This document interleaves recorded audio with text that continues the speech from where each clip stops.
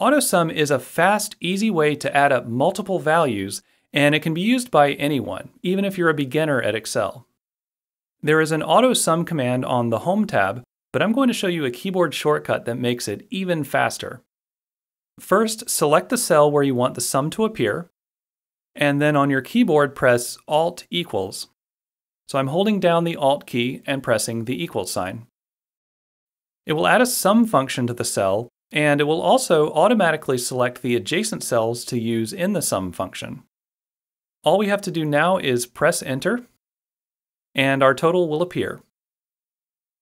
The other way to use AutoSum is to select the values that you want to add.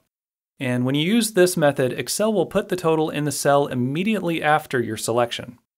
So we'll use our keyboard shortcut again, Alt equals, and there's our total.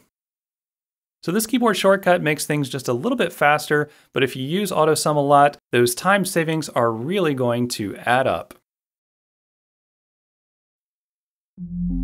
Goodwill Community Foundation, creating opportunities for a better life.